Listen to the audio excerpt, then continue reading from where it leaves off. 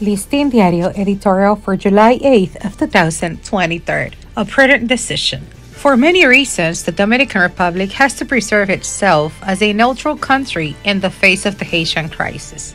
Neutral means that given the dangerous state of confrontation between a de facto government and armed terrorist gangs, you cannot get directly involved in favor of one of the parties. It is only possible from diplomacy to accompany any effort that allows promoting a return to institutionality or an economic resuscitation without using or lending the territory to influence this process. Undoubtedly, this is a crisis that entails challenges to our national security, to our economy, and to the climate of peaceful and democratic coexistence in which we live.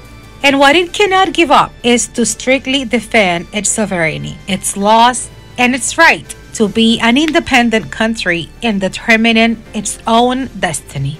Therefore, it is inadmissible for any of the warring parties in Haiti to try to extend the conflict to our territory, with all the consequences that this implies. Both countries share the same island and even the same symptoms of their historical accidents. The best key to coexistence without war is common neutrality, unless some imponderable makes it, makes it difficult or impossible. At the present time, and considering the volatile climate created by unruly African and Arab immigrants in Europe and other parts of the world, it is not prudent to allow actions in our country that could go off course and also lead to populations.